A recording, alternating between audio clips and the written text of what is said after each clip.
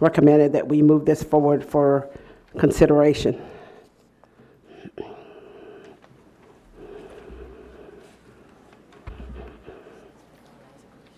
Stefan? Uh, Can you share why it was moved forward for consideration rather than for approval? There was, there was actually some missing uh, attachment that was supposed to go with this, and that's the reason why it was not um, for approval. They didn't include their attachment when we, they actually had introduced it. Not an introduction. Um, Could you speak to that, uh, Mr. Best? Richard Best, Director of Capital Projects and Planning. Um, We had a request from OSPI to furnish letters. We had emails at the time we um, removed, uh, took this to the Operations Committee. We had a request, at that time, we knew that we had the request from OSPI, um, that identifying that the emails were not sufficient, they actually wanted letters.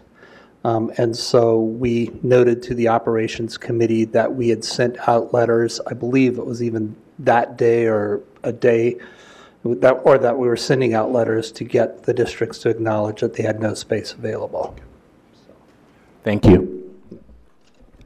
Is there any questions, comments? Okay. We're going to go on to uh, Bex 4, award, Wait, this is an action item, so you can ask, Oh, we didn't need to I'm take roll sorry. call? yes, I'm sorry. Um, Ms. Phobie? Okay, great. Director Burke? Aye. Director Geary? Aye. Director Harris? Aye. Director Peters? Aye. Director Pinkham? Aye. Director Blanford? Aye. Director Patu? Aye. This motion is passed unanimously. We're now going into uh, item three, Bex 4, award architecture and engineering service contract, P1409, to Met Matlam Architects Incorporated for the Queen Anne Elementary Classroom and Gymnasium Addition Project. Um, This also came to OPS, and the committee recommended it to move forward for consideration because not all the attachments were actually included, and the, some of the prizes were missing. Okay, So I'll, I'll read the motion now. So go ahead. Okay. I move that the school board authorize the superintendent to execute an architectural and engineering services contract with Mahlum Architects Incorporated for the classroom and gymnasium addition project at Queen Anne Elementary School in the amount of one million six hundred seventy-four thousand seven hundred sixty-one dollars plus twenty-five thousand one hundred twenty-one dollars in reimbursable expenses with any minor additions, deletions, and modifications deemed necessary by the superintendent and to take any necessary actions to implement the agreement. I second the motion. Any questions? Comments? Okay, Ms. Phobie? Director Geary? Aye. Director Harris? Aye. Director Peters? Aye. Director Pinkham? Aye. Director Blanford? Aye. Director Burke? Aye. Director Patu? Aye. This motion is passed unanimously. Okay. Next one, Bex 4, Olympic Hills Elementary School, approval of GC, CM negotiated total contract cost with Cornerstone. Go ahead.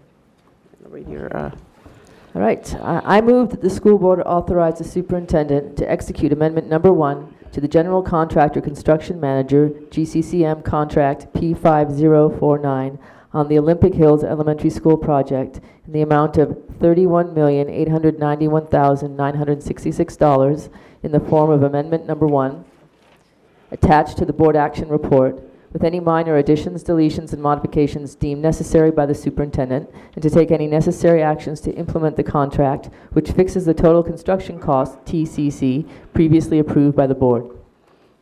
I so second. So this item also came to OPS, and it was recommended by the committee to move forward with consideration because not all the attachments were actually available. Any questions? I do, I have a question. Okay, Director Peters? Okay, um, in public testimony, um, Mr. Jackson said that the um, attachments were not there. Um, Is there anything missing from this presentation?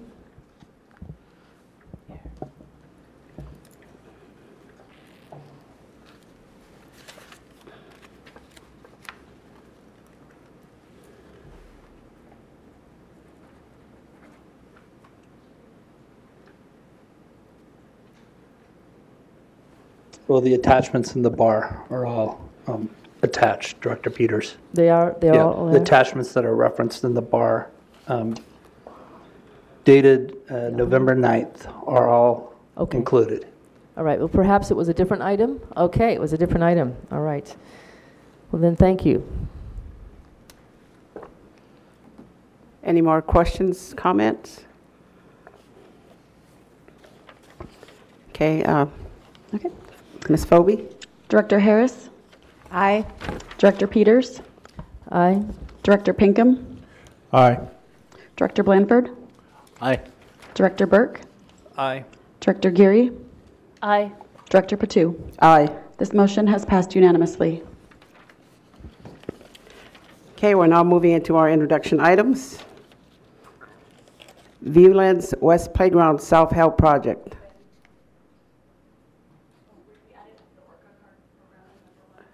Oh, let me get that back over here.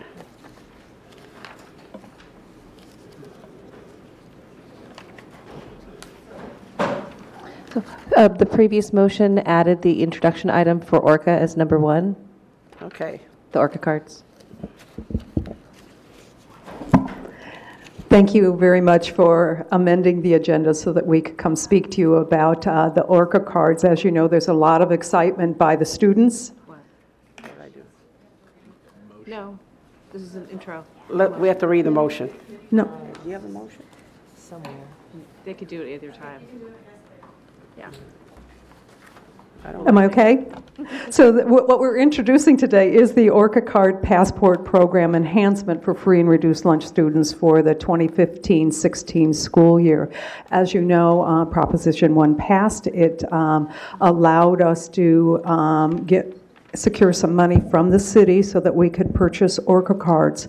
Um, That amount of money is about $1 million. $1 million in the passport program um, buys us about 48, a little over $4,800, uh, 4,800 Orca passports. However, we have over 6,800 students who are in the walk zone, zero to two miles, who qualify for free and reduced lunch so as you can see, we don't have enough money to buy um, Orca cards for all of our students. So we are looking for a way to, A, see if we can re- increase those funds. Um, And so Director, President Patu has been working with the um, City Council, and certainly so has our administration, to see if we can augment that money. But in the meantime, we've been looking at a way where we can actually um, start to um, allocate that uh, money out so that we can get reimbursement back from the state. And the only way that we can get reimbursement back from the state is if we distribute Orca cards to one mile and above for our students. So what you will see uh, before you is a uh, proposal to, number one, accept the money, as much as money as we can get. And then number two, to um, deploy that money first so that we can get um, reimbursement um, from the state. What that means is we're asking you to modify the transportation standards. And I'd like to introduce um, Kathy Catterhagen, who is our Director of Logistics, to walk you through what that looks like in the transportation standards.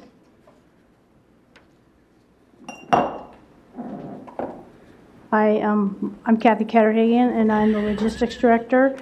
And I was tasked to work on this uh, project, which we're very pleased to work on, because it provides um, transportation for students that otherwise wouldn't have transportation. So what this does is for high school students that live within the one to two mile walk zone, who are FRL eligible. They will, um, and don't currently receive district uh, transportation, they will receive an ORCA card. And then also for the middle school students who are one to one and a half miles in the walk zone of their attendance school, area school, they would receive an ORCA card. So we're still working out the details of the MOA with the city, and we should have that done in a few days for you to review before we take action. And there is some good things in the MOA that allow us to amend it in the future. Um, ask the city to be able to purchase ad- additional cards. So there's um, some flexibility here for down the road. Questions? Uh, Director Blanford? I'm, I'm wondering, based on the um, testimony that we heard earlier today, if there has been any analysis of uh, the possibility of allowing for exceptions for, um, I, I don't want to call them hard cases, but situations where students are within the walk zone, but for one reason or another may not want to walk. I, I, what I'm trying to prevent is what, what I heard in the testimony was that they were going to reach out to all the school board directors. And I imagine that, that what we're going to hear is make exemptions for this and this, for this student and that student and that student. And so I'm wondering if there's any analysis that has been done or that could be done that would allow us to be able to respond appropriately to what I believe is going to be uh, a fair amount of um, making exceptions. It- Does my question make sense? Yes, it does. And, and actually, we do have a process right now in place for Rainier Beach in particular. Um, A couple years ago, um, we had heard from the students that um, they were having problems with attendance, and so we put a pilot program in place so that students who were having attendance issues and needed ORCA cards um, through their um, truancy and specialists could actually secure them. So those are the types of hardship cases um, that we have primarily been looking at. We can certainly expand that. Now, whether it would qualify for state reimbursement becomes the question. And so what we've been doing is working with OSPI and the state to look at, are there ways that we can do additional exceptions? And I appreciate you saying that. I, um, it, it seems to me that a caveat is necessary to, as we're fielding those questions, to say, um, you know, it, it's not cost neutral. Every one of those exemptions, if, if they are not reimbursable by the state, it's not cost neutral. It's going to cost us.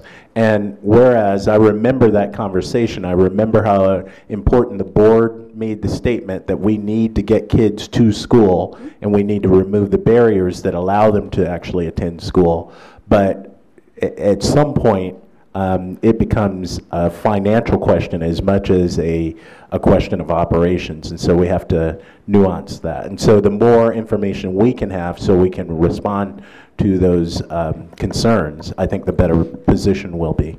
And and, uh, Kathy and I are also going out to Rainier Beach to speak with the students so that hopefully we can handle a lot of those questions, bring them back, and give you a Friday update so you know exactly where we are with those conversations. Thank you. I, that would be optimal. I think it would be better for those who are in the know to be able to negotiate back and forth and then report back to us as opposed to each one of us getting involved. That's my personal preference, but um, Thank you for that guidance. Director Peters? Well, my understanding from the testimony tonight was not for exceptions, but for a broader scope in terms of what would be covered, meaning that all students, even within a, a mile, could qualify. And, but the question was whether or not that financially was feasible. So I don't know if we're talking about a bunch of exceptions necessarily. I mean, um, Peggy, Uh, what is your understanding? So I think that um, the students have come to us asking for both. So um, if in fact we can't give it to everybody, is there a way for us to look at hardship cases? So we're going to be trying to see how we can maximize this, and again, through getting reimbursements. But we will have to come back to the board. There will be budget implications if in fact um, we can't get to a total reimbursement or the city um, directly funding those um, Metro cards. Okay, I think Uh, Dr. uh, Harris? Thank you.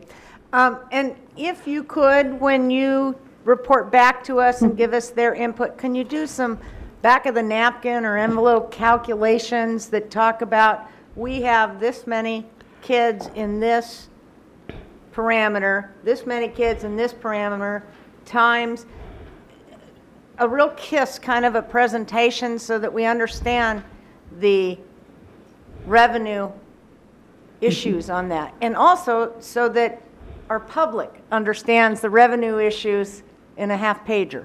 Okay. Thank you. And I also wanted to add to that, that originally, when Bruce and I had a conversation over this, uh, it- they had actually stated that they were fully fund all kids. When they were, the kids were talking about, there was no limit in terms of the, uh, the miles, and also all free and reduced lunch kids were actually included in this whole proposal. But what happened is when it got a little bit further, things started changing and the amount of the dollar amounts started changing. So that was one reason why that uh, Peggy and I were kind of like, wait a minute, this is not what they promised us. So it's almost like going back to the city and say, you know, what happened to the original proposal? Because that's what they had originally had stated before I actually was the one that made the announcement. And when I saw the new numbers, I said, wait a minute, that's not what they promised me.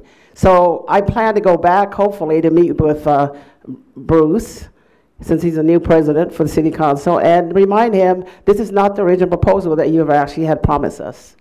So hopefully, we can get some, you know, go back to where we started. Well, and I would suggest that that's yet another opportunity then to build coalitions and partnerships with our new city council that is elected by district, as we in some ways were as well. So if you keep us posted and looped in, uh, we can back you up with phone calls. That would be great. And also, I want to um, say that uh, Councilman O'Brien has been very helpful in trying to problem solve with us also. Director Pinkham? Uh, First of all, thank you uh, for coming and noting that you are going to talk with the Rainier Beach High School students. I would ask that you let us know when that's going to occur because there are going to be other high schools that would probably like to be there. It's it's not just a Rainier Beach issue. Uh, For instance, you know, Ingraham High School has some issues. My daughter, if she would have to walk, she'd have to cross major thoroughfares to get there, which can be pretty dangerous.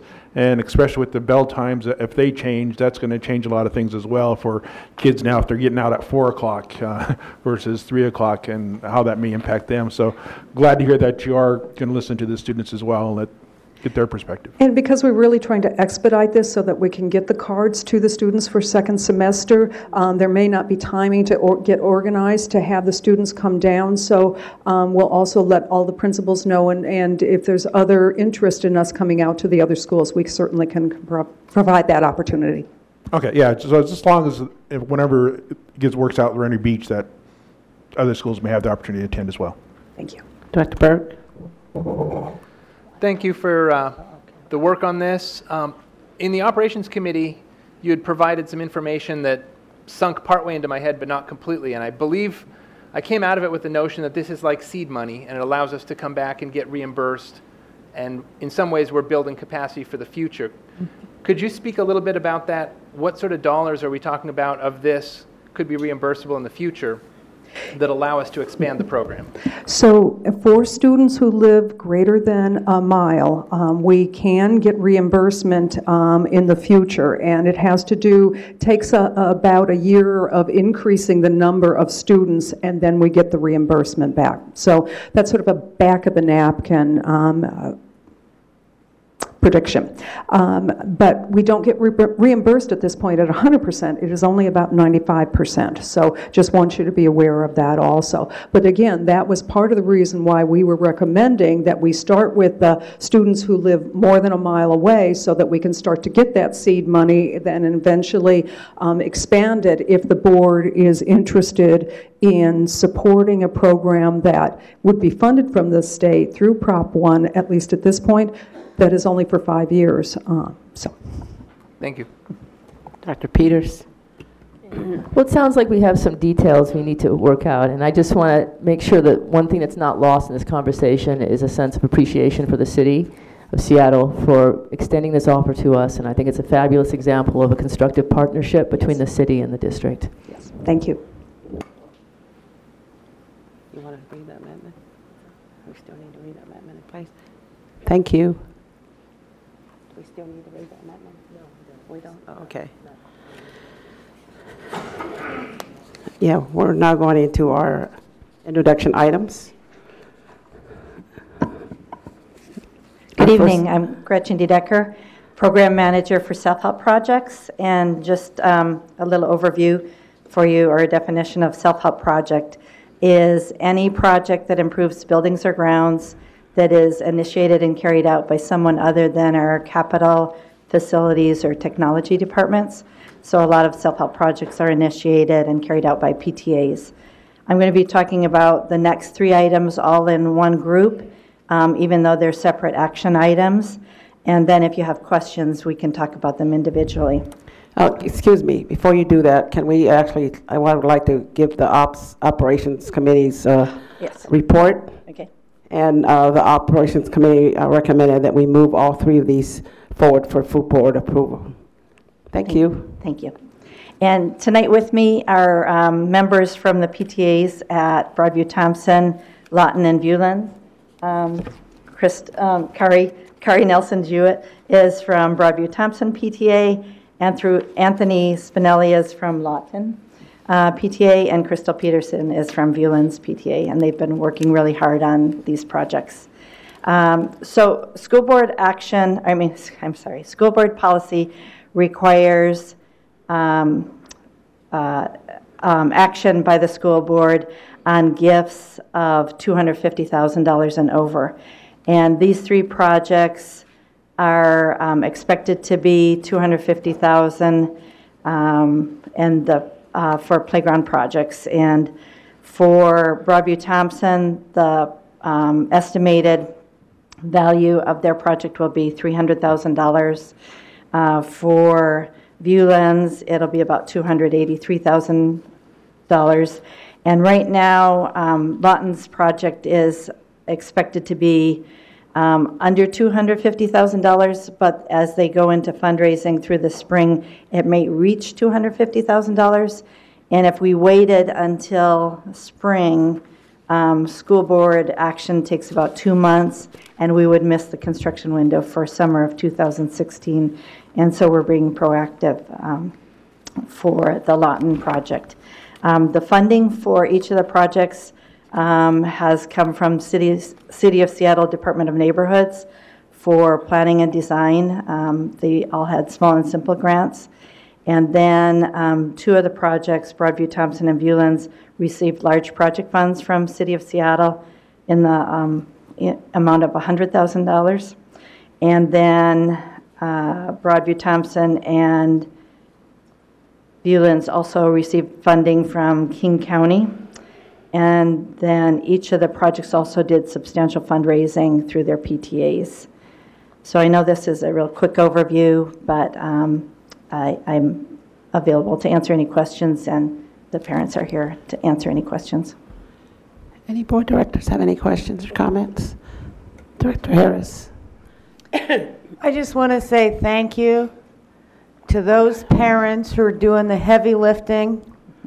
And, and heavy lifting in the context of PTSA and a self-help project means everything from a pickaxe to auction procurement to writing checks to begging.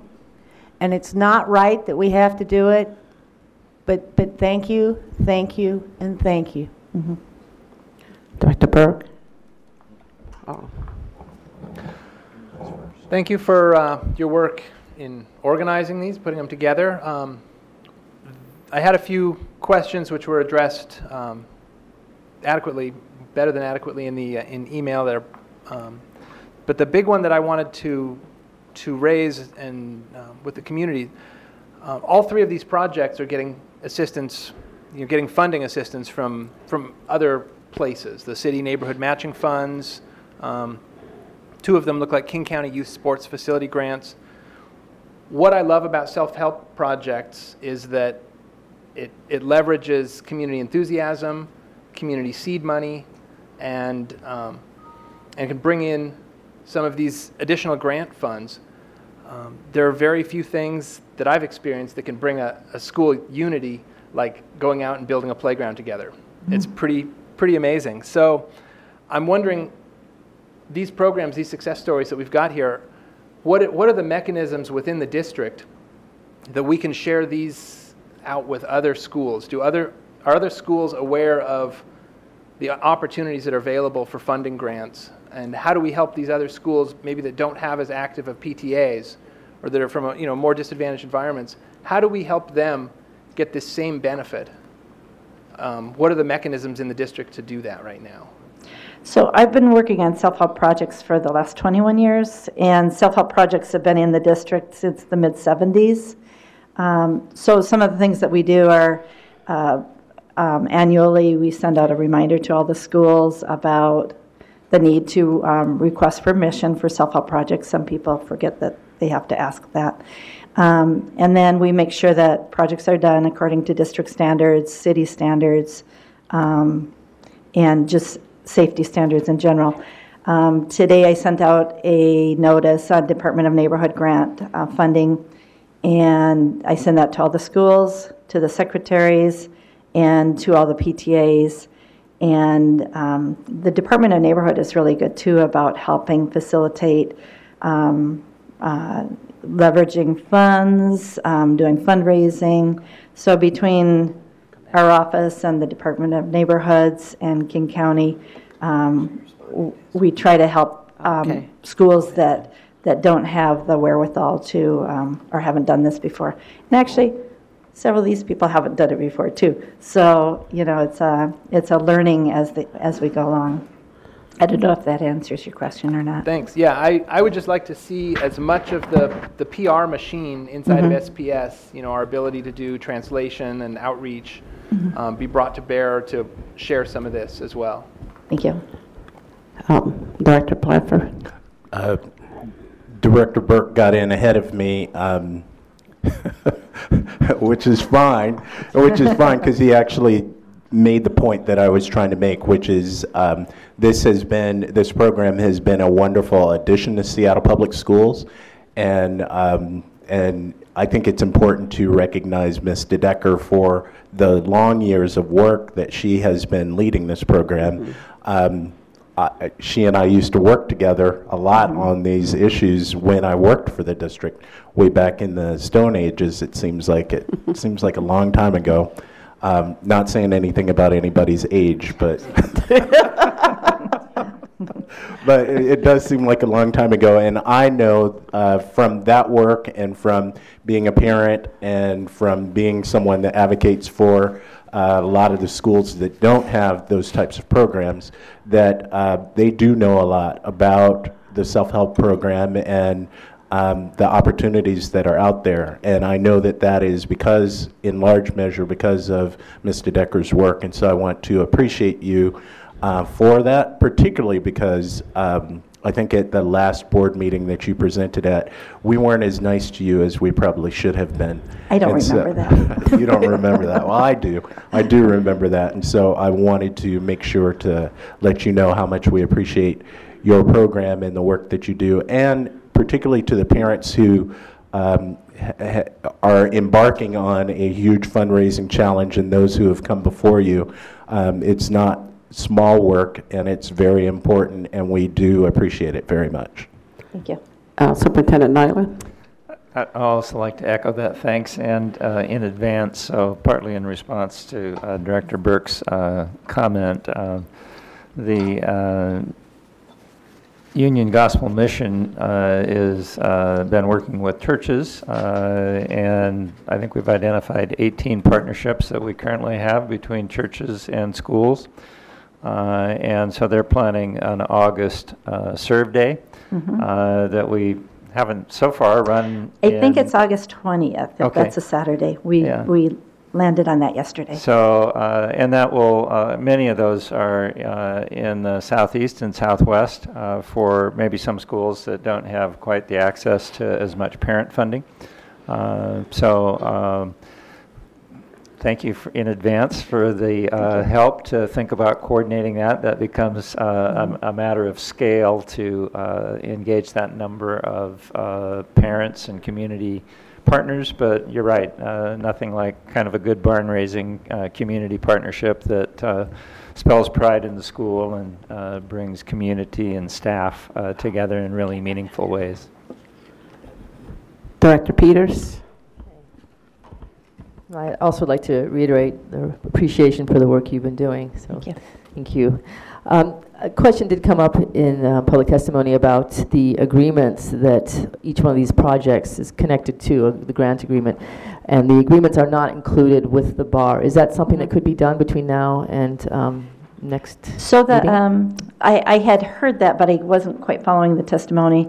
Um, The agreements for Department of Neighborhoods are between um, the, the PTA and the City of Seattle. So that, I mean, I can bring a copy of that, I, that's no problem. And then the agreement um, for King County is between the city and, um, and the t- school district. Okay. So I can bring those contracts. I think it would be helpful to have those just Okay. attached for our reference. Okay. Great, thank you. Uh, Director Harris? At the risk of, of throwing a less than positive piece into this discussion, do we have some feedback about what our labor partners think about some of these projects and/or whether there's an opportunity to work with them on the so-called barn raising and that? I, I know it's a sensitive issue, but it's one I want to be respectful of as well. Um, I work real closely with the, with the, my fellow colleagues, and, and sometimes we um, partner with them in doing, um, they do some of the work, and then the volunteers do some of the work. Um, One example of routine partnership is when we have grounds cleanups, and we probably have, I stated that in my email, but now I can't remember, probably about, um, uh, close to 100 a year, grounds cleanups, so that doesn't count the, the service projects. And for each of those, um, our ground staff is offered the opportunity to work alongside um, and help with the volunteer projects. But I don't know if that really answered your question. I guess part of my question is, is there on your checklist and on your Mhm. operating model, reaching out to our labor partners to, to band together with them as part of your analysis and, and what resources and advice? I don't have a good answer for that right now. I can think about it and get back to you on that. I sure appreciate it. Thank you. Okay, sure. Any more comments? Uh, Director Pinkham? I guess for me, it'd be kind of the comment that was brought up again by one of our speakers in regards to like Loyal Heights. And as these self-help projects are done by, you know, the communities getting involved, and then because of capacity issues, we need to expand schools on occasion. Uh, How do we help mitigate that if a self-help project gets done and then, oh, we got to take some of that space back and put a portable or expand the school? It's been very tricky. I don't know if you want to speak to that at all, but we've been looking carefully at when a project is proposed, and we try to anticipate what the growth is going to be, so that we don't run into a project that was just completed and then has to be disbanded. I don't know if Yes, as Ms. uh, DeDecker was commenting, we do try and, if there's a self-help project that is on its way, we do try and coordinate with the capital department so that Gretchen's office is aware of kind of which buildings and programs are being expanded and what we're looking at. Um, It's not perfect every time, but we do try and mitigate that as much as possible. In some cases, growth could happen in a very short amount of time. Uh, In other cases, it might be that the self-help project was done 15 years ago, Um, and it could depend on what the project is, but we do try and mitigate that as much as possible. We understand that um, community and people have put a lot of effort and time and money into raising that and really trying to make the school better. And obviously, the expansion that we have is not something that we take lightly and obviously is, again, trying to meet the instructional needs of what we have there. So, but we try and have the two um, coexist as peacefully as possible. Any more comments? Okay, moving along. Thank you. Thank you. Uh, Number four, capacity management, 2016, 2017 school year. Um, This actually came to Ops Committee, and it was recommended by the committee to uh, move it forward for full board, not full board approval, but for consideration. And the reason why is it's considered is because uh, there was, most of the attachments was not on there. Uh, Richard Best, Director of Capital Projects and Planning.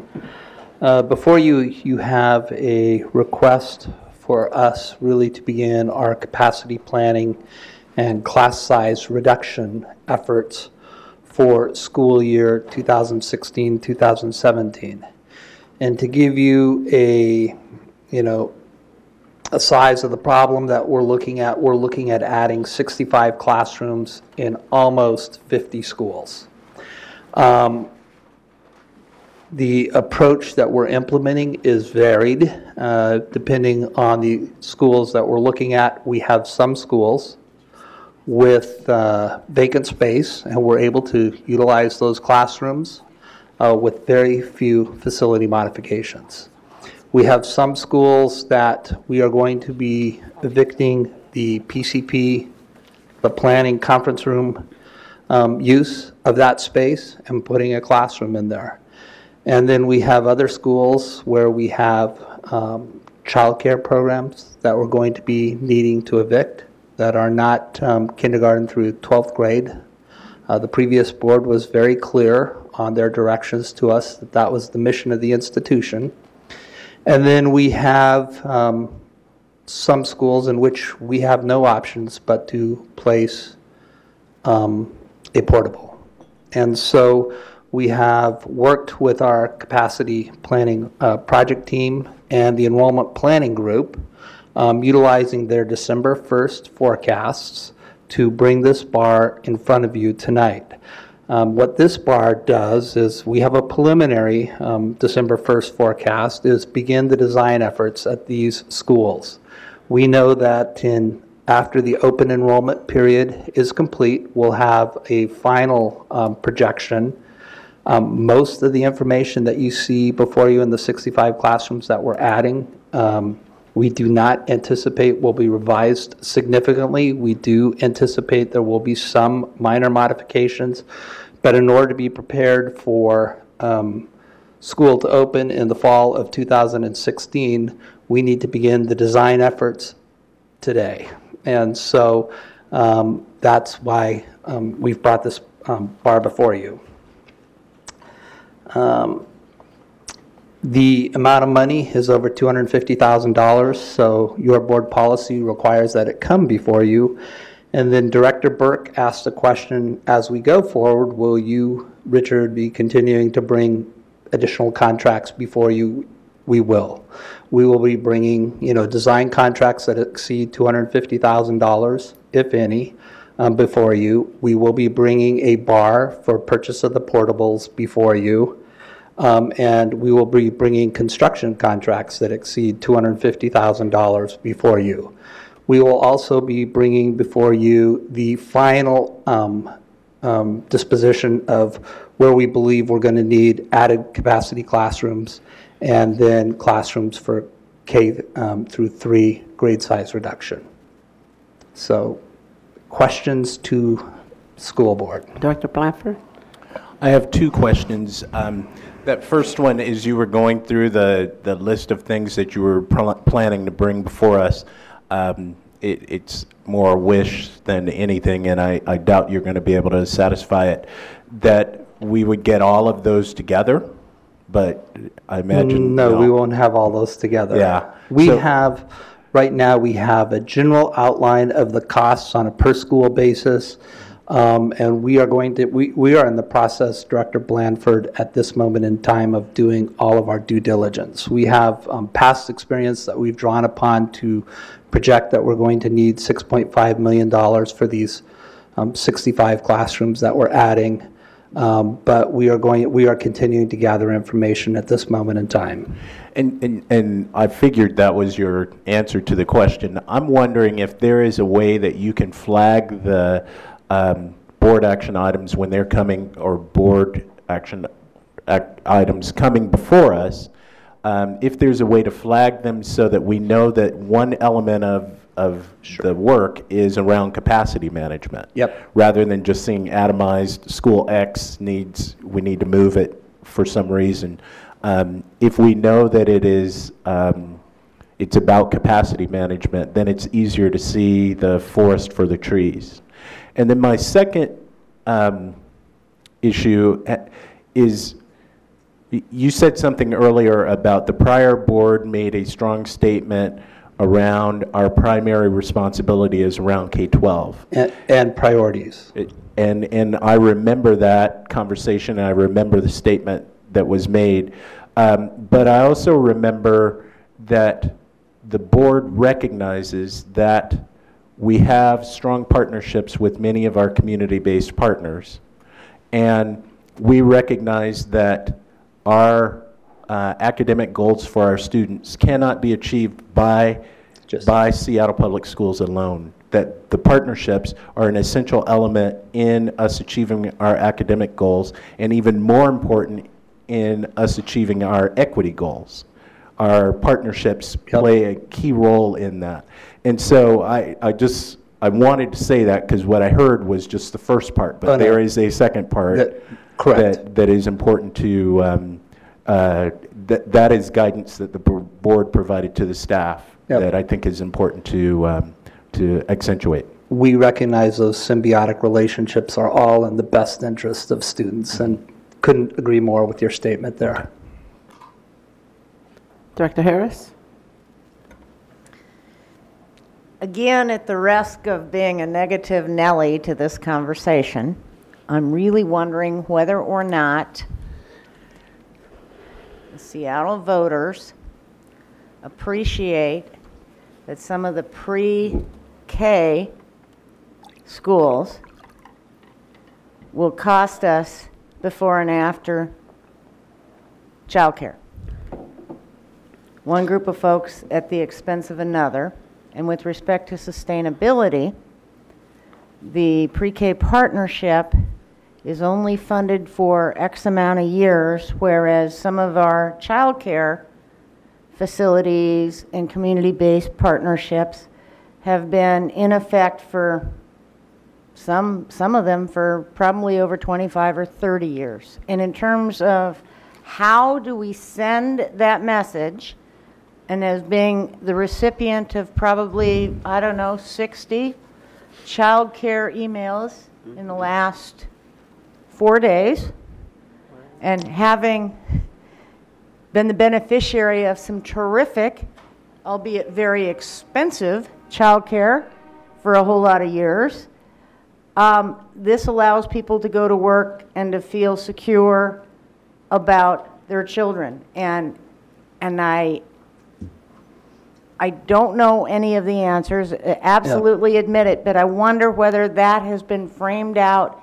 and addressed. So let me answer that question this way. We are in the process of evaluating these 19 childcare facilities. Are we impacting before and after care, or are we impacting preschool? I can't tell you at this moment in time. I'm to receive that information uh, this coming Friday. I'm sitting down with that staff member to, res- to review that information this coming Friday. Um, I needed to give him some time to do the investigation work. Uh, With a before and after childcare um, program occupying a classroom, we could break that lease, but then turn around and renegotiate a lease where they potentially used a multi-purpose room and gymnasium for before and after childcare. Um, I have experience in other districts in which we have done exactly that. And so before and after childcare, just because we say we are relocating childcare programs doesn't mean that we're not going to be coming with a potential solution. Um, The impact to the pre-K programs would be more significant. I just can't tell you at this moment in time what that makeup is of those 19 childcare um, programs that we potentially are going to impact. Keeping us closely looped in with statements like that help us to communicate with our communities. Mm-hmm. Okay, Thank you. okay, great. Dr. Burke, and then Dr. Pinkham. Um, I have three, three points. The first one is one that I feel as, as a new board director, but also I'm hearing from the community, um, and coming up on a, on a levy and looking at engagement with the city, all of the different places where, where our capacity crisis or challenges are facing us. Um, can, can there be a big picture, you know, the capacity planning work that the district has done, can you put that in a big picture context so that we can say, yes, we're looking at this ask this year. Next year, we think it's going to be this. The year after that, we think it's going to be this, and this is why. I understand that's a really complicated thing, especially at the, at the building level. But if we can identify that as the challenge that faces our district because of growth, because of McCleary, we see it on, as numbers on board action reports. If we can prepare, you know, one-page graphic things that we can have as directors, that we can share with the city. Um, Some of the concerns that uh, Superintendent Nyland brought up really feels to me like more people need to understand the magnitude of this problem and that we are doing long-term planning around it. So Rick, you'll note in our background information that we provide you with um, enrollment information has, in- has for the past several years increased between 1.9 and 2.8. That I don't think has been the difficult challenge. The difficult challenge has really been the K through 3 class size reduction and McCleary and the uncertainty concerning um, what that looks like in those grade levels. Um, And so that's where the significant challenge is. From my perspective, I'm going to punt to, um, you know, Associate Superintendent Herndon to further answer. Yes, I mean, it- it's a, it's an excellent question and a difficult one to answer, simply because growth throughout the city is uneven. And so a pattern can change fairly quickly within a year or two. So what we may be projecting in one particular area may bubble up somewhere else. Some of that does have to deal with um, the number of, let's say, housing uh, starts that the city has granted, and they come in at different times and different price points, which have different impacts on uh, some of our schools. The other things are all of the variables that we look at for enrollment growth, things like um, birth rates and the number of uh, families or students who are opting in or out of the district. So sometimes those patterns can change a bit. So it does make it a little bit different, or a little bit of a challenge. The farther out you try and project, the less viable those numbers are going to be, obviously. So, you know, if you're trying to go long range with 10 years down the line, which is excellent planning, but to really rely on numbers that far ahead gets to be a challenge. That's why we kind of do the five-year projections. It reels us in a little bit closer, and the numbers get a little bit um, more reliable. But as far as coordinating with the city, we definitely try and do that, let them know. We also try and get the information from them. Our demographer that we have um, on staff has had very close communications with the city demographer to really help us out with information that they can bring to us, which is a good one. Um, And then, uh, as Richard was mentioning, the speed of funding K-3 class size reduction is something that also is a bit beyond our control. So that's the legislature figuring out when and how quickly they're going to fund that. They've been doing some incremental funding of that and been focusing on more of the high poverty schools first doing that.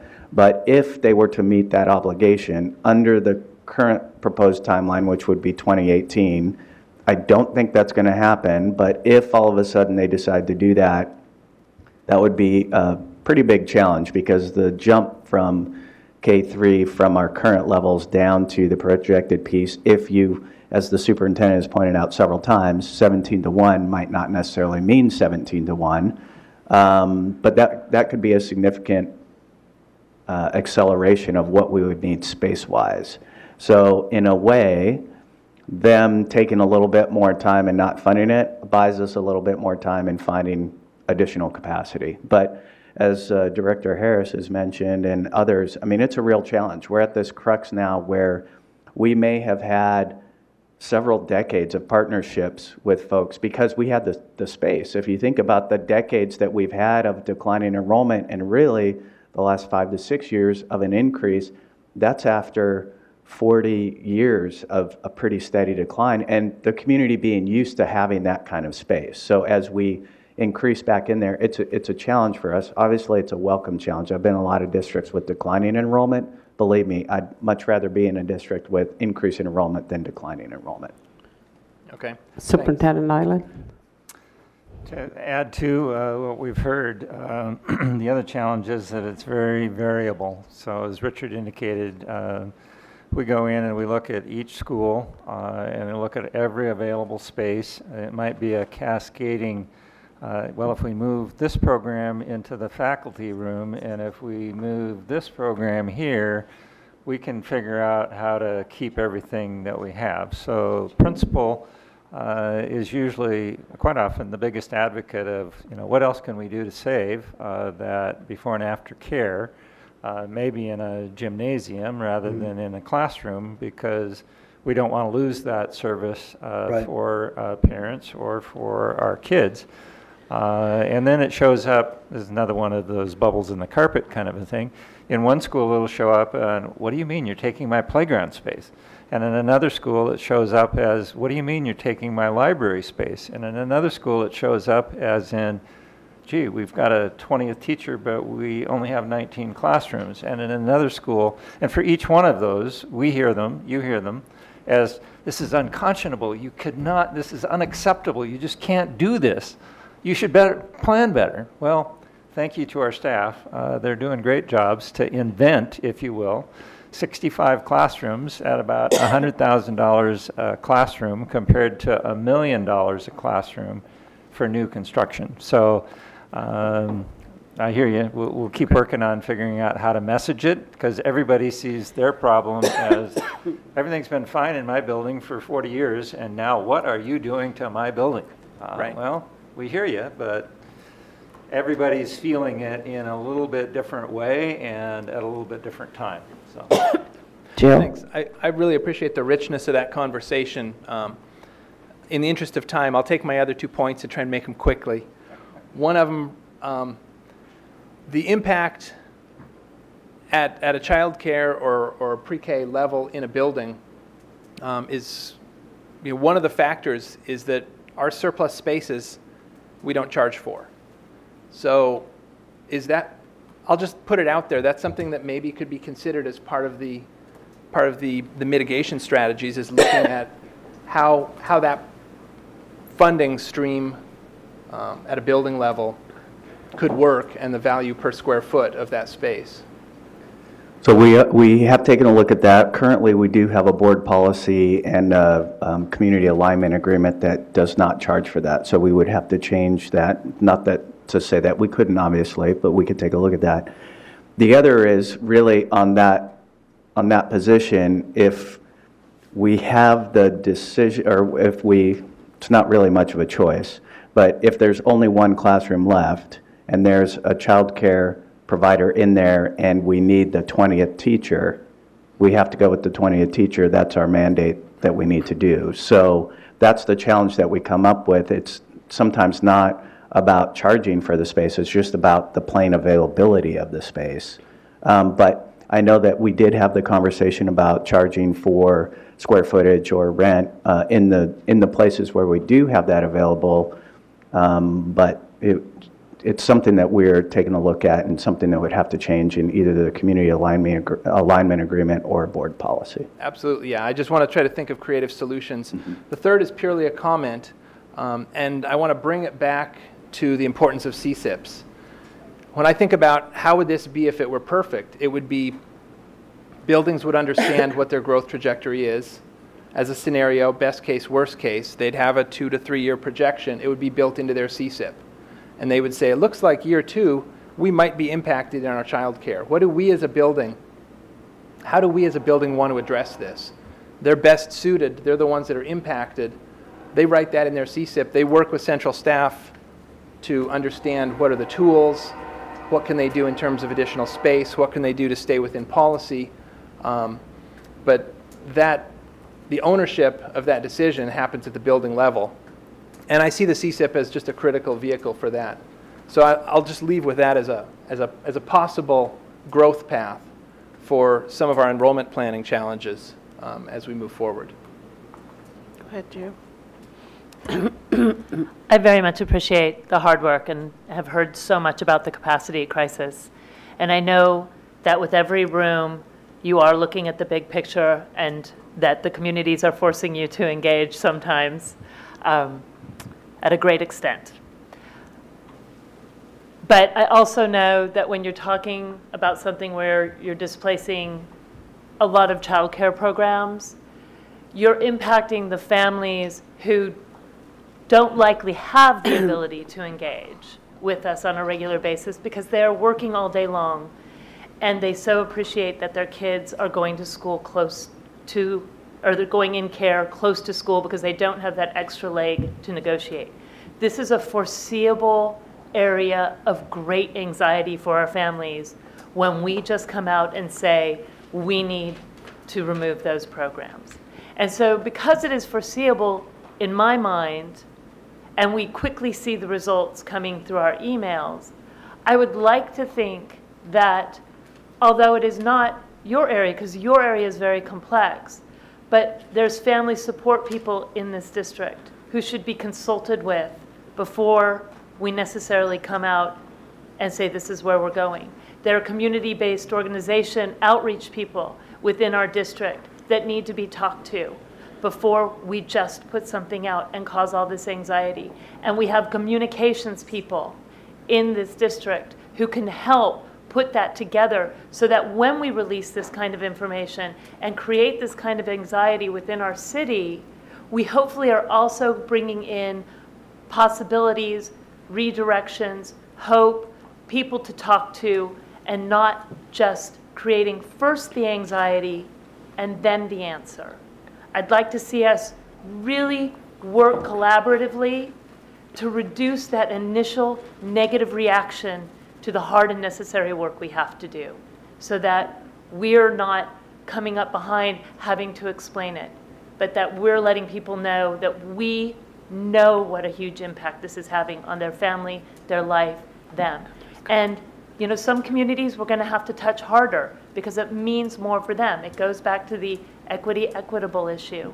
And so let's just all work really hard to identify when we hear something's happening within the district, think about our people who we touch and think, hey, before you do that, maybe we can work together to mitigate the impact that I see that it's going to have on my families or I see that it's going to have on my you know, community-based organizations and come up with a plan for them up front.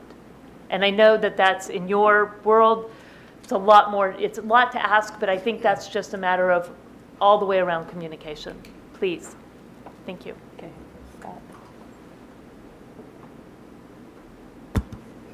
Yeah, uh, thank you for this. And uh, kind of following uh, with uh, Director Geary, where you know, it says like conversion of 19 childcare classrooms to 19 homerooms. Do you have an idea how many rooms are being used for childcare this year? Is that all of them? Is it 19 out of 19? I, I don't know. Uh, those kind of information. And appreciate that, you know, I, I know of like Northgate Elementary, their spaces in the gymnasium, which then they shouldn't be at risk of being relocated. Uh, could we possibly look at, are those, if there is more than 19, working with those to probably relocate them to the gymnasiums now for possible future expansion? Uh, and just the other final comment is that we're talking about 65 new homerooms, but the list you provide lower down is 66. So we're talking about 65 homerooms. We also have one issue that we want to resolve at um, Catherine, uh, uh, K-8 school. And so we are, we have four portables that we are relocating from Thornton Creek Elementary School. Both of those are double-wide portables.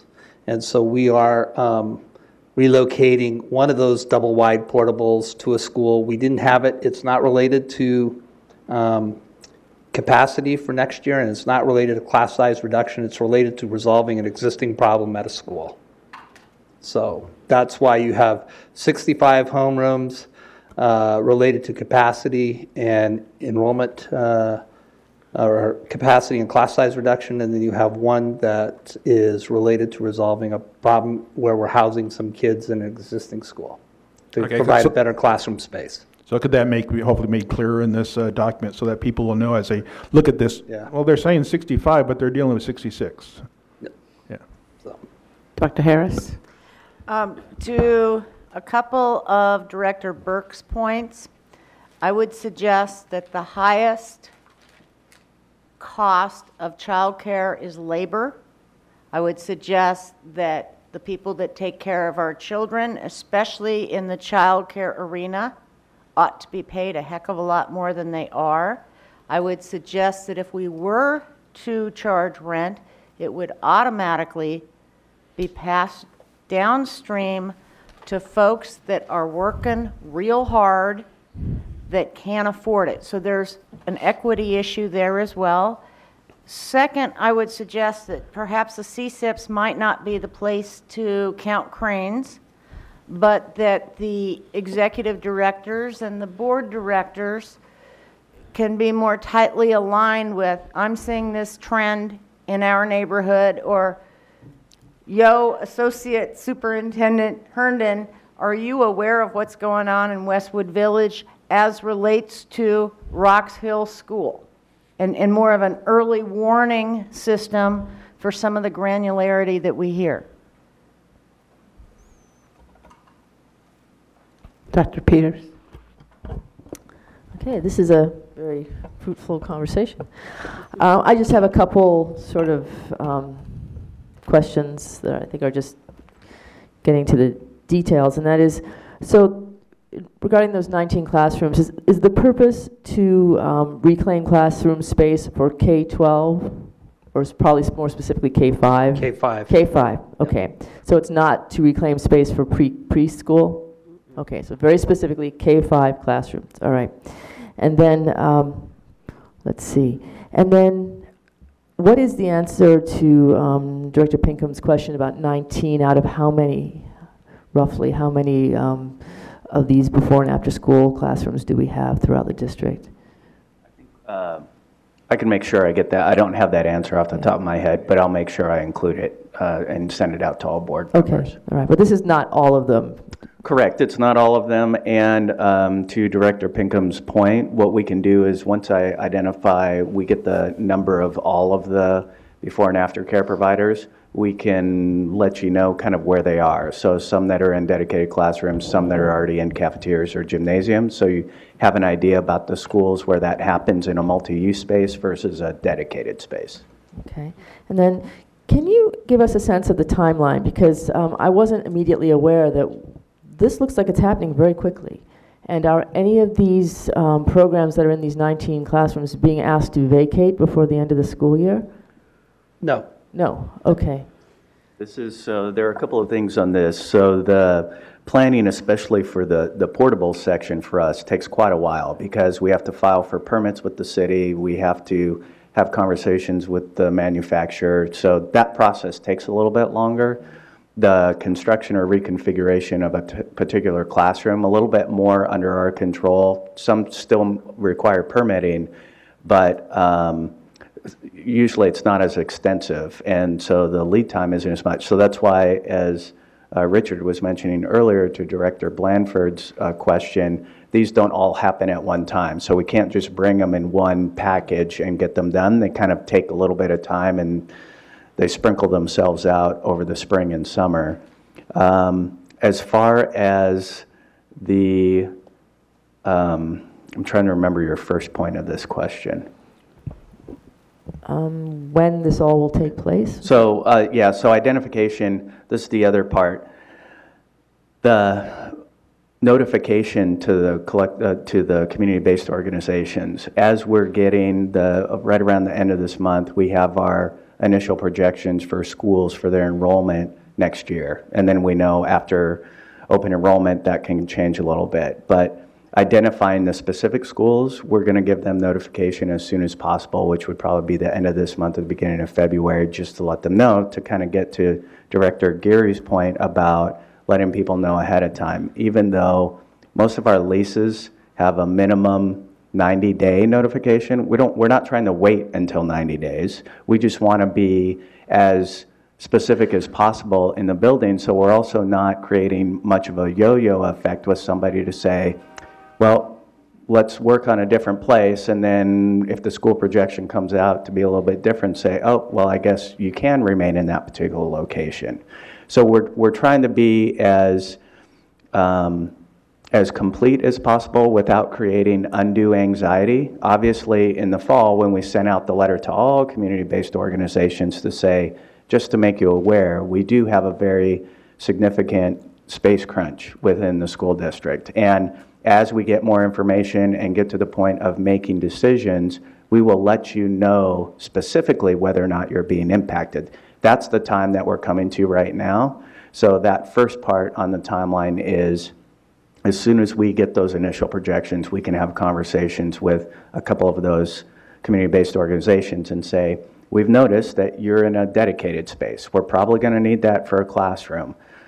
We also know that when you move to the multi-use space, you have to get that license to be okay to be able to use those spaces. So each space that you're using for childcare or pre-K, you have to get licensed, and that takes time. So that's why we want to do as much early notification as possible without over notifying. I mean, I don't want to send out a blanket, everybody, you're going to lose your space because the process of going through that licensing, it all costs money and it all takes time. So I don't want to do that if we don't need to. Okay. Uh, And just to, to follow up, so can we tell our constituents that nobody's going to be asked to leave before the end of the school year? I believe that is accurate. This, this notification piece is for the 2016-17 school year, not the current 15-16 school year. Oh, is that? This is all for next year. This is capacity management. And I know it's for to next address capacity of next year, but it looked like some of this had to begin this year. Well, the notifications will happen this year. They'll be impacted for next year. So Okay. they would have to give up their space by the end of, you know, the summer or whatever it is. It depends on if we have to do modifications and get in there to do construction. That might have to happen during the summer. So they may have to vacate the space at the end of June in order for us to get in and do modifications so the classroom's ready in September. Well, the wording I'm looking at that says um, to implement, this is under the recommended motion, to implement annual capacity management actions in spring semester 2015-16 and summer 2016. That's the design process. Um, Yeah, permitting, Director Peters. Okay. Um, Procurement of portables, because it takes time to manufacture those portables. That's what we're talking about when we say this. We're not, um, uh, w- we are waiting until we get the information from open enrollment before we finalize this list, but we Okay. need to order those portables now. Well, I think there's a slight sense of panic in the community about some of these dates. So what would be really helpful, I think, to us is if you can give us some, I don't know, like some FAQs on this, I don't know, five, 10, something that clarifies what exactly is going on, especially the timeline. And also, please include the fact that we are looking at alternatives that might allow them to stay within the building, just in a different room. I think that could be really reassuring to people. Thank you. And I just want to highlight, you know, um, Director Burke talked about what are you looking at from a long-term vision. With our BEX 4 schools, with all of the childcare classrooms that we're planning at the elementary schools, we're planning two each. We are planning those childcare classrooms to be easily convertible without the use of additional modification funds for a general ed classroom. And we're also planning for them to be used as a pre-K classroom.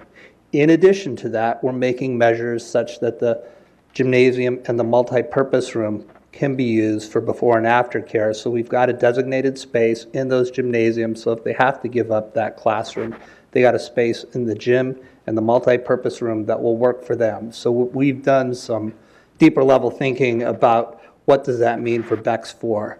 Um, Some of these classrooms, some of these pre-K classrooms were built fairly specifically for pre-K without the thought of being converted to a general ed classroom, and that's why you're seeing some rather significant construction costs. But as we move forward, we're looking at, can this be pre-K? Can this fun- function as a general classroom? Where do we come together? And those, we're engaged in those conversations um, and have been for several years now on the design of the BEX 4 schools. So, Director Blanford. Director Blanford. Um, I, I think I heard during our uh, intermission that some of the community-based providers are all meeting i- in the next couple days. Is that correct? Uh, I'm wondering if there's the opportunity, being as there are going to be a lot of community-based provider leaders all meeting together, that that there is also staff here to have the type of conversation you're having with us with them. Is is that part of the plan? Or should it be? I'm, uh, I- Since I don't coordinate with the community-based organizations, I'm not sure if staff are, I was not aware of that particular meeting on Friday. So there could be someone within SPS who is aware. I'm not that person, so I'm not sure who is. yeah, and I'm not either. I wasn't aware of it. Good evening. So Carrie Campbell, the Director of um, Community, School and Community Partnerships, is hosting that meeting and pulling people together to do some creative problem solving and talking and listening to people's concerns because this is an issue that we know that we will have to attend to and tag team with Flip's team. Excellent. Great. Thank you. Director Harris. Uh, With respect to transparency and communication, uh, this is clear as mud. Our discussion, however, has been very fruitful. How can we get this out there as soon as possible? Uh, In terms of FAQs, in terms of bringing down the anxiety level. Yeah, I can work with um, our community relations office to get an FA FAQ um, sent out, and I'll try to work with them to make that happen by Friday at the, uh, and send it to you in your um, Friday memo to the board. Thank you so much. Yep. Any more questions? Comments? Okay, we're going to move on to our next item. Recommendation to award contract for furniture procurement 2016 projects. This also came to the ops and committee uh, recommended that we uh, bring it to the full board for consideration. So I am, uh, again, Richard Best, Capital Projects and Planning Director, and I'm going to ask that Anita Hornby, our manager for furniture, fixtures, and equipment, come and talk about these contracts. Uh, This is a one-year contract um, that we're entering into. Um, It is to furnish our BEX four projects that we are opening um, this summer. We are opening six schools uh, this summer. In addition to the 65 classrooms that we're talking about, um, this is a contract, there's actually eight different contracts um, that it- we are projecting will exceed $250,000.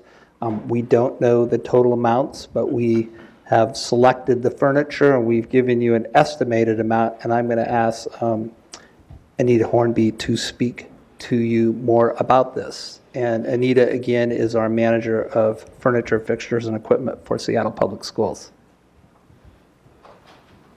Evening. So uh, this was a public bid, um, competitive across um, any vendor who is willing to submit. Um, All the products that we had on the bid were all district approved by stakeholders within the district, including um, purchasing, risk management, facilities, and capital staff, as well as staff from schools, um, representatives. And so what we're looking at is not only on the BTA projects and the BEX projects, but also uh, any school in the district is able to uh, use this contract to purchase out of their school funds furniture that they may need as well. So in that way, we propose the best estimate we can on what we um, anticipate will be the amount of furniture. In addition to that, in our contract, we state that we are not obligated to uh, award that full contract. Um, So we, at our discretion, fulfill the furniture that we need from that contract estimate. Is there any questions, comments? Thank you. Thank you. I'm Going to move on to our next item is BTA 3, final acceptance for contract K5053, Regency Northwest Construction Incorporated for the electrical, fire sprinkler, and seismic upgrades at Lowell Elementary School project. And this also came to ops, and the committee recommended that we move forward for full board approval. So as I shared with the Operations Committee, and knowing several of you are new, one of the board's responsibilities is when we complete a project and we have collected all of the closeout documents, and literally there are 30 tasks that we implement in the process of closing out a project. Um, When those tasks have been completed, the board has to finally accept the project. And what that does is it allows us to notify state agencies. There's three state agencies that we work with, Department of Labor and Industries, Department of Employment Securities, and Department of Revenue, to make sure that contractors have indeed paid, they, they will come in and audit the contractor's books, and they will look to make sure that the contractors have indeed paid the prevailing wages required in the state of Washington. They will look to make sure that their insurance has been their workers' compensation insurance has been paid for those employees working on our projects, and then they will look to make sure that their taxes have been correctly paid. If not, they will file a lien against the project, which we will then take from the project retention. After a period of um, 60 days, um, if we have received the three documents from the state agencies releasing their lien rights, we will release project retention to the contractor. Um, we have uh, project retention on all projects, or we have a retention bond in which we could make a claim against a surety. And so um, this is a formal action that you take for this project, Lowell Elementary School. And at Lowell Elementary School, we implemented some seismic improvements, some electrical improvements, some mechanical improvements, and then some fire safety improvements. So questions the board has on this project? Any questions, comments? Director Blanford? Would, would you go through again the improvements? Fi- Fire, seismic, Fire, seismic, ele- Electrical. electrical, and mechanical, Mechanical. HVAC improvements. Ah, it- Yeah. that's, that's the one that I wanted to hear. Um, I I know that frequently there are complaints from um, Lowell parents, students, um, and staff about the uh, difference in heat depending on what parts of the building you're in. So I'm happy to hear that that is the case, and hopefully it um, resolves that issue. And, and I'll just tell you, Director Blanford, from my experience, is that generally it takes about a year to get the HVAC system dialed in. Um, and the reason it, it takes that long is you're trying to do it first, in, you know, in, in the fall and the spring are fairly, you know, you don't get a lot of complaints. Winter and summer, you get a lot of complaints. And you're dialing in the mechanical system on the heating side in the winter, you're dialing in the ventilation system in the late spring, summer, and uh, fall, early fall to address with occupants being too hot. And it has almost always taken a year to get that programming language correct in the DDC system to operate those valves correctly, get the right amount of water flowing through that system. Most of our systems are hydronic in nature. And so, um, not uncommon for that first year. I will say we have two great uh, mechanical electrical um, coordinators on the capital project staff, Mike McBee and Mike Kennedy, who are who put contractors through their paces to try to prevent those problems, but they're not perfect. And sometimes there's engineering mistakes, sometimes there's construction mistakes. Both of those individuals are on site almost on a daily basis in our projects, watching the plumbing and mechanical systems be installed and the electrical systems be installed because it's their area of expertise and they can identify when we're not getting the product that's required in the contract documents, so. Thank you. Yeah. Director Peters? Well, these uh, problems with Lowell are very familiar to me. I had children in Lowell for about six years. Is the flooding in the basement now taken care of as well? I'm, I'm assuming so. I I would assume so. It's not a project that we um, tackle, but I'm going to guess that uh, the facilities department has addressed that. Okay. Um, so the sprinklers were something that was part of, was it the BTA 3 levy? Is that what this is all? Correct, this is a BTA Right. 3 So this was a while ago, and I can remember actually at one point testifying before the board and mentioning that we didn't have sprinklers yet at Lowell. So is that all complete now? Is this telling us that this is all done? The- All, the project is done? So now we're just, The project that was implemented in this construction contract is 100% complete, um, Sue. and I'm assuming that it was completed fairly recently because, It was completed in the summer of 14, and we've been working on the HVAC system throughout all of that, that past year and addressing hot and cold complaints to Okay. dial that in.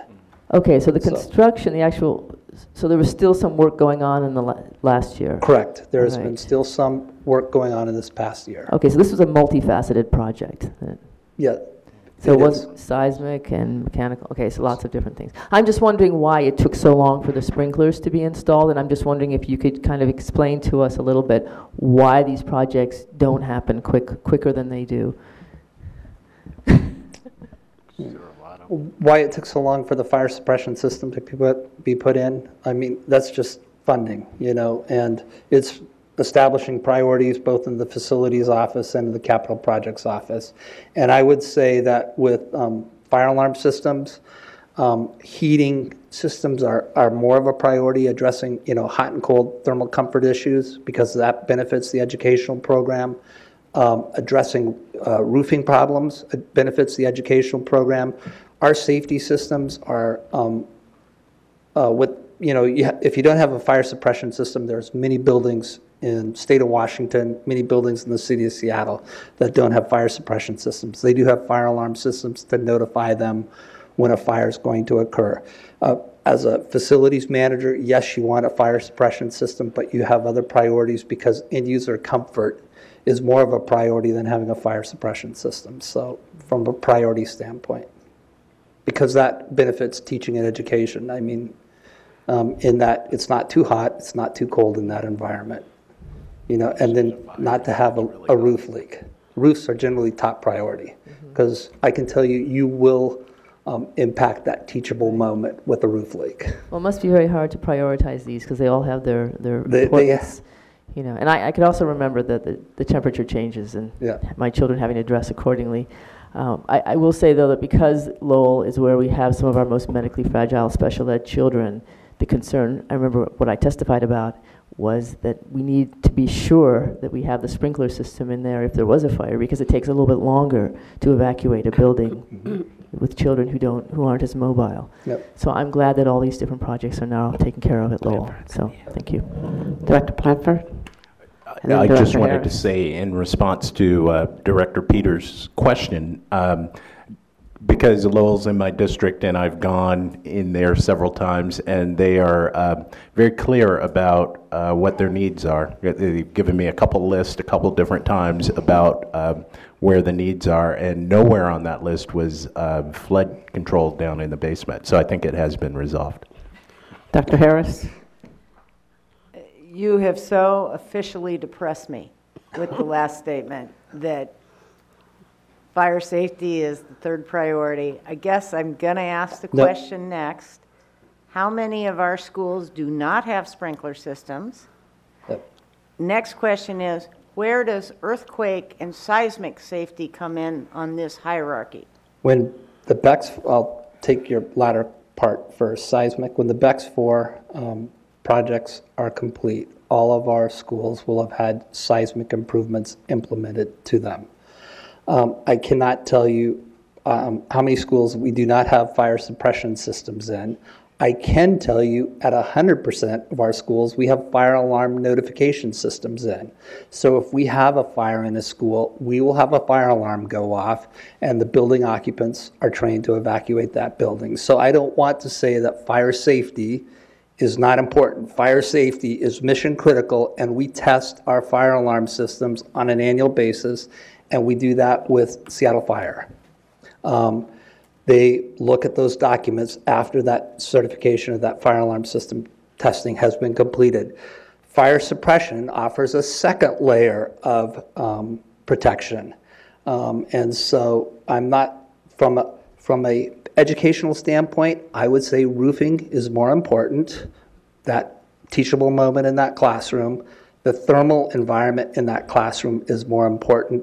Providing that second layer of fire suppression system would come after roofing HVAC improvements. But I'm not trying to say that it's not important. It is important, but fire safety, we can get through our fire alarm systems, and that's a higher priority. And one of the reasons I asked that question was so that it could be clarified for Yeah. the record. Yeah. Thank you. Life safety is numero uno.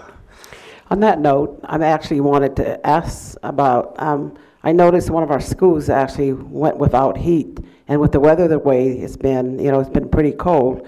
Um, you know, what are we doing to actually, to keep schools from uh, breaking down heaters where they have to be in the building for a good period of time and no heat? So that's a facilities question that Bruce Gower typically addresses and Richard looks at from some of the HVAC systems. Some of the buildings are older and they rely on a boiler system, which takes time. So the boilers uh, generally are not very efficient. And if you've ever seen that system, you basically are heating up a giant barrel of water to then have heat go throughout the rest of the building. So if there's any, any breakdown in that system for a short amount of time, it means the recovery time is just going to be longer because it's a delayed system that will heat that up. So as soon as we're notified about that, we did get folks out there to try and fix it as quickly as possible, but it doesn't turn on fast. It's just a delayed system that takes a little bit longer. Ideally, we would love to replace all those systems because they're, A, they're not efficient, and B, they take a lot of time and they're um, kind of maintenance intensive. So that's why when we try and upgrade the HVAC systems, that's one of the areas that we try and update. Thank you. Director Geary? Now, this is just sort of a technical question about the presentation, and correct me if I'm wrong, and as I get better, I'll try and be more organized. This is all new. When you presented this at committee, I recall there was sort of a checklist of all the final items Right. that need to be gone through, but I don't see that in the attachments here. Um, I thought that was a sort of clarifying document. I thought it was interesting and a good part of the record to show all the steps that we have had to certify as being done before we get to this position. Okay. And I'm looking at both of these last two action items and not seeing that document, and I was, so my That's- memory, and I, I wanted you to explain that to me. That's a, um, a document that we use internally, um, Director Geary, um, to make sure that those tasks are done. Um, and sometimes the project manager, manager will indicate, hey, this isn't applicable to my project, but we use that document internally. We can make it part of this record. If you would like to make it as an attachment to the bar so that you have the assurances that that work has been done, or at least thought of that it's not applicable to the project. But we use that internally just to track completion. We don't, we haven't attached it previously to the bar. I, I found it personally helpful to know all the steps that have gone before you're asking me to certify as a public, or before we're asking these people who aren't part of the committee Okay? to say, yes, this is ready to be signed off on. And so that document with indications as to completion and who was responsible for making them done, I think is an assurance to the rest of the board and the public, all the steps have been completed. Sure, we Thank can you. make that part of your um, board package. Director Pinkham? And just to hopefully clarify too, I recall that that checklist didn't have any place for anybody to sign their name and date it, so you may want to make sure you add that as well. No, we actually have them initial it. We do have them initial it, that each task is done, there's a little check lot to, Okay. and we look for their initials, so, I or must a have NA. misremembered that. Thank you. Any more questions? Comments? Thank you. We're going to move on to our last item, BEX 4, final acceptance for Public Works Contract K5037 with Three Kings Environmental Incorporated for abatement of hazardous materials from the existing Pathfinder K-8 school located on the new Genesee Hill Elementary School project site. This also came to OPS, and it was recommended by the committee to move forward for full board approval. So again, similar to the Lowell project, this is um, a recommendation of final acceptance. This is a BEX 4 project, Genesee Hill Elementary School.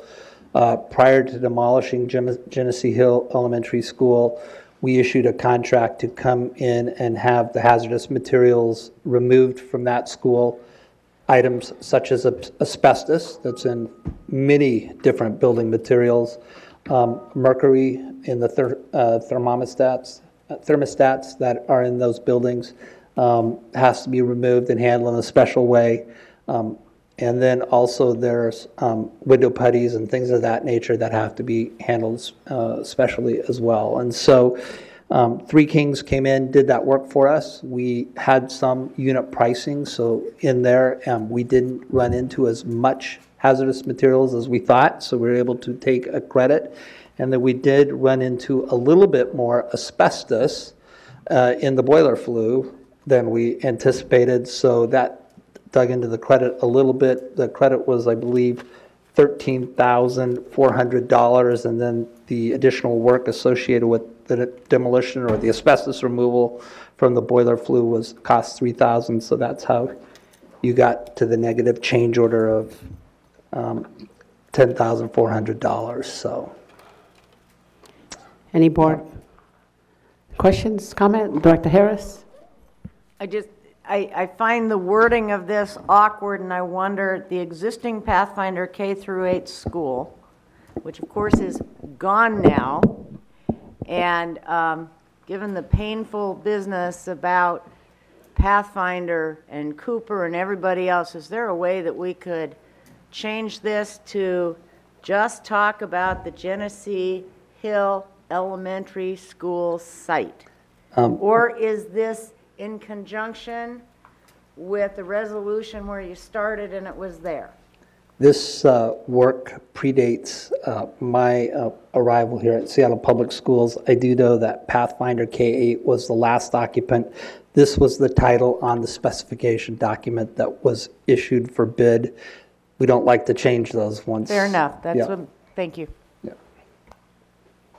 Any more questions, comments? Well, this is it. Meeting is adjourned. You're welcome. I agree